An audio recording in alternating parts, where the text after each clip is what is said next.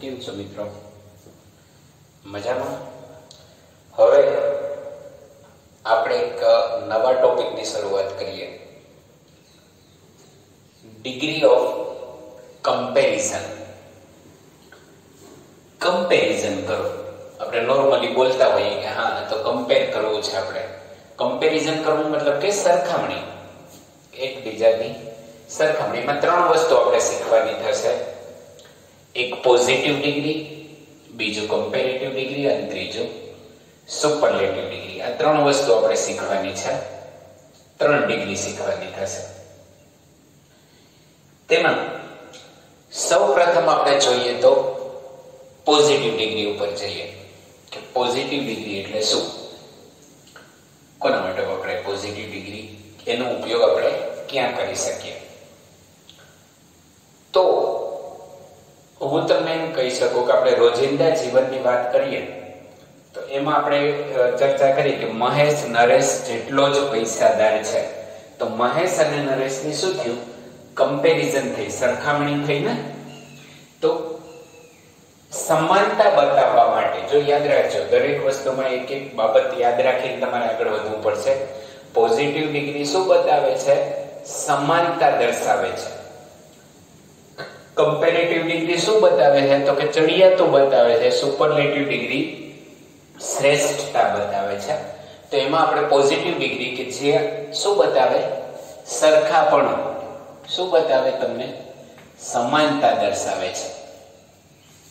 મહેશ નરેશ જેટલો જ પૈસાદાર છે, મહેશ નરેશ જેટલો જ હોશિયાર છે, રામ રીટા જેટલો ઊંચો નથી, કંઈ પણ એક્સ વાય ઝેડ કંઈ પણ.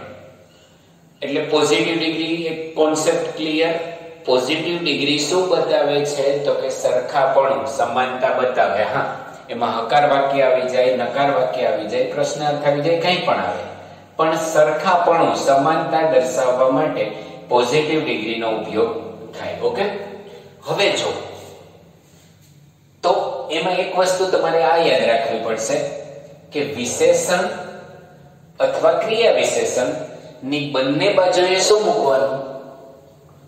એઝ એઝ વિશેષણ અથવા ક્રિયા વિશેષણ. એને આપણે અંગ્રેજીમાં કહીએ તો એડજેક્ટિવ વિશેષણ મીન્સ અને ક્રિયા વિશેષણ એટલે એડવર્બ વિશેષણ અથવા ક્રિયા વિશેષણની બંને બાજુએ શું મૂકવું પડશે? તમારે એઝ એઝ જો નકાર વાક્ય હોય, તો વિશેષણ કે ક્રિયા વિશેષણની આગળ સો અને પાછળ એઝ તો શું મૂકવામાં આવે?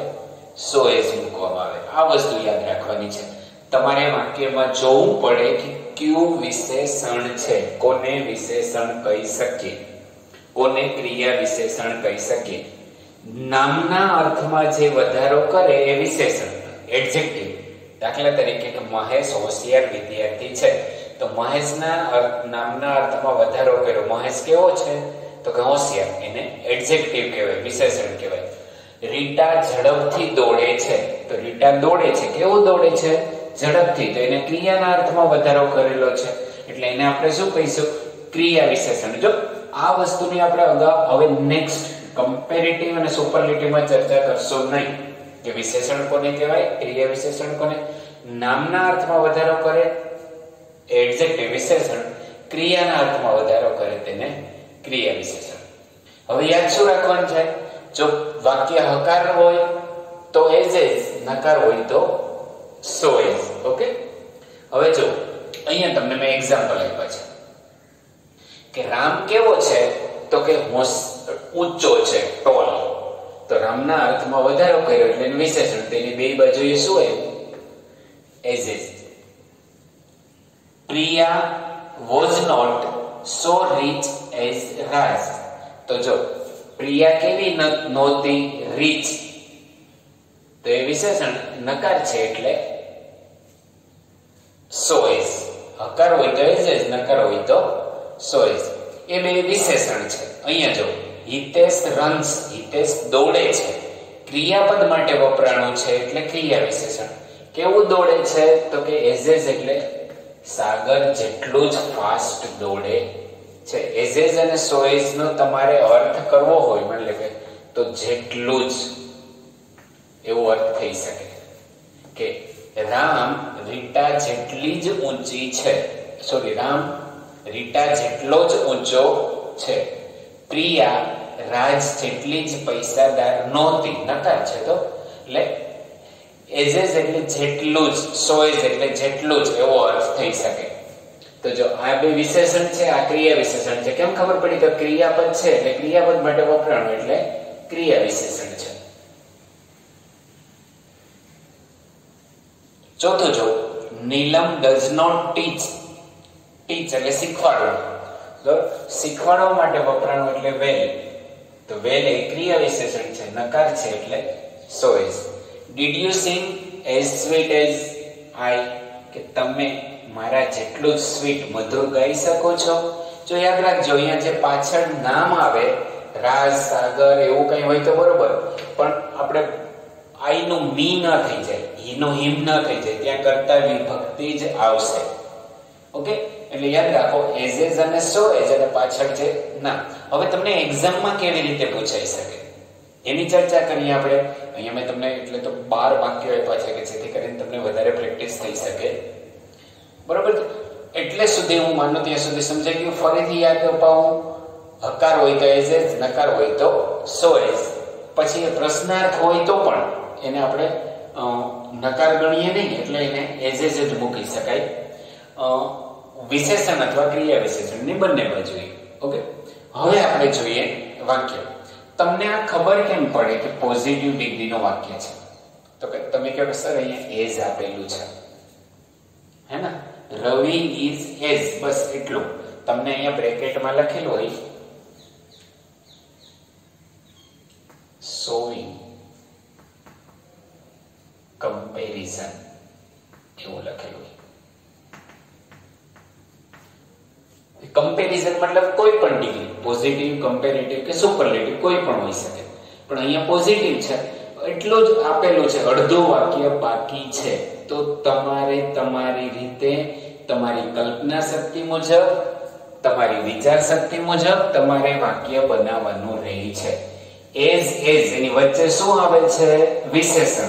તો આપણે અહીં વિશેષણ મૂકવું પડે કે રવિ છે, ઈ એઝ કેવો ડાયો છે, તોફાની છે, હોશિયાર છે ઠોઠ છે, પૈસાદાર છે, ગરીબ છે. કાંઈ પણ તમને જે વિચાર આવે, મતલબ સમજો છે, આપણે એમ લખીએ તો કે Ravi is as wise as. પછી તમારું મન પણ ઇનામ નામ લખી નાખો. As wise as I, as wise as Riya, as wise as Piya, as wise as Rita, જે પણ અહીંયા આ વાક્ય પૂરું થયું તમને ખબર પડી જવી જોઈએ કે એઝ પછી શું મૂકવાનું છે? વિશેષણ. અહીંયા તમે એમ પણ લખી શકો કે Ravi is as poor as Rita. Ravi is as clever as Rita. Ravi is as fat as Mita Ravi is as small as I Ravi is as big as you. કંઈ પણ. તમારે કોઈ પણ ઈચ્છા પડે, પણ અહીંયા શું આવવું જોઈએ? વિશેષણ આવવું જોઈએ. જો યુ આર નોટ સો અહીંયા તમારે વિશેષણ તમારું મન પડી મૂકો. You are not so rich as she ત્યાં પણ તમારા મન પડે તમે મૂકી શકો. You are not so poor as she you are not so clever as Raj કંઈ પણ. ટૂંકમાં અધૂરું વાક્ય હોય એ તમારે પૂરું કરવાનું રહી છે જો, એમાં કોઈ પણ વપરાય. અહીંયા વ્યક્તિઓ છે, અહીંયા વસ્તુ છે, ગમે એના માટે વપરાય. ઇંગ્લિશ ઇઝ એઝ ઇઝી જો, અહીંયા વિશેષણ આપી દીધું, તો આપણે તો ઈઝી પડી જાય એકદમ. ઇંગ્લિશ ઇઝ એઝ ઇઝી પછી શું મૂકવું પડશે? એઝ ઇંગ્લિશ સરળ છે કે ના જેટલું જ ગમે લખતા નાખો તમે શું લખશો? English is as easy as Gujarati. English is as easy as Sanskrit. English is as easy as Hindi કંઈ પણ લખો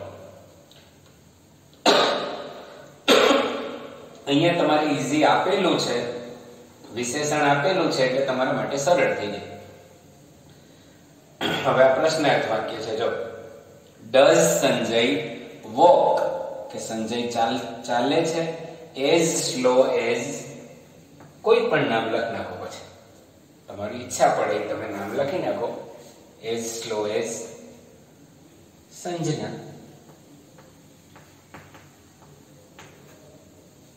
યાદ રાખો, અહીંયા વસ્તુ છે, વિષય છે, તો અહીંયા તમારે એ જ મૂકવું પડે. અહીં, Sanjay walks as slow as Gujarati. એમ ના હાલે ને. સામ સામે સરખામણી વ્યક્તિ હોય તો વ્યક્તિ અરે વસ્તુ હોય તો વસ્તુ સાથે. My car was not so attractive as કે મારી કાર એટ્રેક્ટિવ નથી કોના જેટલી નથી એટ્રેક્ટિવ તમારી કાર જેટલી તમે એમ લખો તો હું લખો your car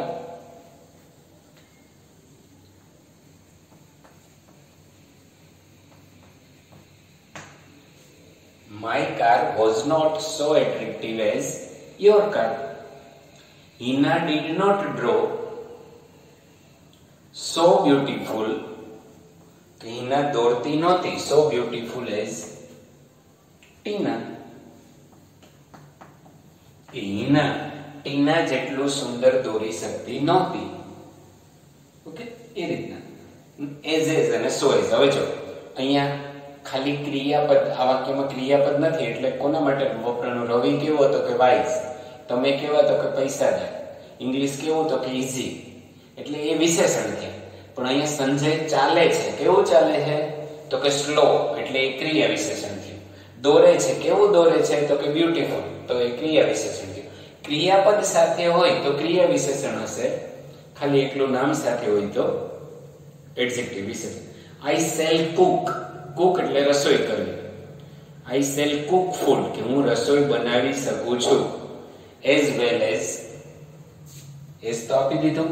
as well as you હું તમારા જેટલી જ સુંદર રસોઈ બનાવી શકીશ ભવિષ્યકાળ છે. They were not so honest કે તેઓ તમારા જેટલા સો ઓનેસ્ટ એઝ યુ એ તમારા જેટલા પ્રામાણિક નથી. સો ઓનેસ્ટ એઝ હી તેના જેટલા પ્રામાણિક નથી. કંઈ પણ લખો તમે. ટૂંકમાં અધૂરું વાક્ય હોય, ત્યાં ક્યાંથી અટકેલું છે? એ વાક્યમાં શું ઘટે છે એ તમારે જોવું રહ્યું. અને એ પ્રમાણે તમારે બનાવવાના ત્યાં. નવમું વાક્ય જો કે સમીર લીવ્સ સમીર રહે છે અથવા જીવન જીવે છે. કેને કેવું જીવે છે? એઝ સિમ્પલ એઝ સાદું જીવન. As simple as as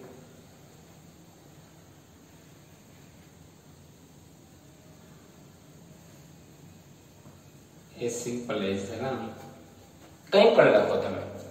કે સમીર જે lives as simple as Ram કોઈ પણ સરળ.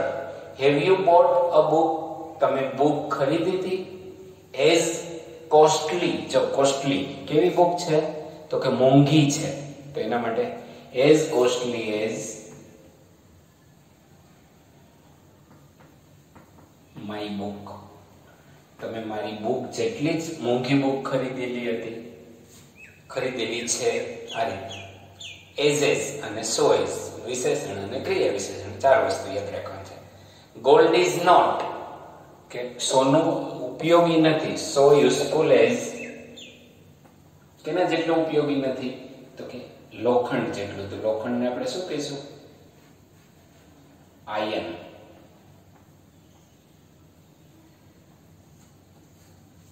gold is not.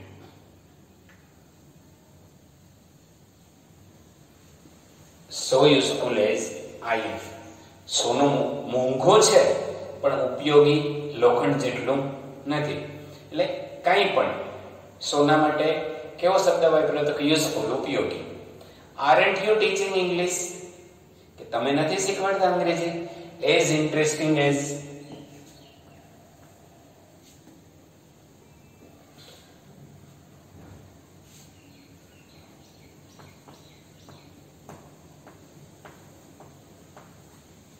mister Shah તમે મિસ્ટર શાહ જેટલું સરસ અંગ્રેજી નથી શીખવાડતા?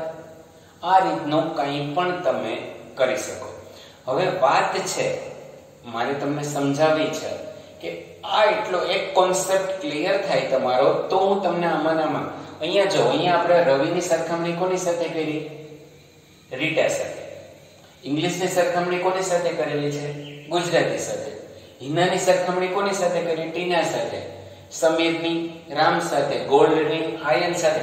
કહેવાનો મતલબ કે માત્ર આપણે બે જ વસ્તુની સરખામણી કરેલી છે. બેથી વધુ હોય તો પોઝિટિવ ડિગ્રીમાં શું હોઈ શકે? એના માટેની વીડિયો એના માટેનો નેક્સ્ટ લેક્ચરમાં હું તમને બતાવીશ. પણ આ એટલું તમારે યાદ રાખવું રહ્યું કે ભાઈ, ક્યારે એઝ એઝ વપરાય, ક્યારે સો એઝ વપરાય કોને વિશેષણ કહેવાય કોને ક્રિયા વિશેષણ કહેવાય અડધું વાક્ય હોય તો એ કેવી રીતના કરી શકાય આનું જ રીકેપ પણ કરાવીશું તમને અને પછી પેલામાં જઈશું પણ તમને આ આ એટલું સમજાઈ ગયું તો પેલો આવડશે, એની કોઈ ચિંતા નથી. પછી બીજી એક વાત, આ જે કોષ્ટક તમને અહીંયા આપેલું છે, એ અનિયમિત રૂપ છે, જેને કોઈ નિયમ લાગુ પડે નહીં. એની તમને જરૂર પડશે કમ્પેરેટિવ ડિગ્રીમાં અને સુપરલેટિવ ડિગ્રીમાં તો કમ્પેરેટિવ અને સુપરલેટિવ ડિગ્રી સમજાવતી વખતે જો તમને આ મગજમાં નહીં હોય, તો તમને સમજાશે નહીં. એટલે તમને એક વીડિયો અગાઉ તમને આપી દીધું છે કે તમને માત્ર આ ચાર બીજા છે. લેટ છે, બરોબર ફાર છે, એવા એવા વિશેષણ પણ છે. પણ એની જરૂર નથી. તમને આ ચાર વિશેષણ છે એ તમારે યાદ રાખવાના કે ભાઈ ગુડ અથવા વેલ હોય, તો એનું કમ્પેરેટિવ કરીએ, ત્યારે શું થઈ જાય? બેટર થઈ જાય. એનું સુપરલેટિવ કરીએ, ત્યારે શું થઈ જાય? તો કે બેસ્ટ થઈ જાય. બેડ હોય તો કે એનું કમ્પેરેટિવ કરો તો વર્સ થઈ જાય. સુપરલેટિવ કરો તો વર્સ્ટ થઈ જાય. મેની કે મચ હોય તો એનું કમ્પેરેટિવ મોર થાય. સુપરલેટિવ મોસ્ટ થાય. લિટલ એટલે ઓછું. તો એનું કમ્પેરેટિવ થાય. લેસ અને સુપરલેટિવ થાય લિસ્ટ એટલે આ રીતના તમારે જોવું રહ્યું કે ભાઈ આને યાદ રાખવાનું છે. નેક્સ્ટ વિડીયોમાંની જરૂર નથી. જ્યારે આપણે કમ્પેરેટિવ ડિગ્રી શીખશું, ત્યારે આપણે આની જરૂર પડશે. જ્યારે આપણે સુપરલેટિવ શીખશું, ત્યારે આપણે એની જરૂર પડશે. પણ અત્યારે હું તમને કહું છું, અત્યારે તમારે યાદ રાખવાનું છે એઝ એઝ ક્યારે મુકાય? સો એઝ ક્યારે મુકાય? કઈ જગ્યાએ મુકાય? એ અને અહીંયા આપણે બે બે વસ્તુની સરખામણી કરી કે તેઓની સરખામણી કરી માત્ર હી સાથે. પણ જ્યારે બેથી વધારે વ્યક્તિ કે વસ્તુઓ વચ્ચે સમાનતા દર્શાવવાની હોય, ત્યારે શું વપરાય? તો એના માટે હું તમને એક આઈડિયા આપું કે આ બે શબ્દો વપરાય છે. તમને કઈ સેન્ટેન્સ જોવા મળે તો તમે જોજો. પોઝિટિવ ડિગ્રી માટે વેરી ફ્યુ અને બીજો એક શબ્દ છે નો અધર આ બે શબ્દો મૂકી શકાય છે. વેરી ફ્યુ અને નો ઉપયોગ થાય. ક્યારે? બેથી વધારે વ્યક્તિ કે વસ્તુની સમાનતા દર્શાવવી હોય ત્યારે. એ ક્યારે વપરાય? કેવી રીતના વપરાય? અને એના એક્ઝામ્પલ એની એની ડિસ્કશન આપણે નેક્સ્ટ વિડીયોમાં કરશું. ઓકે એટલે સુધી સમજાઈ ગયું હશે. એવી હું અપેક્ષા રાખું છું.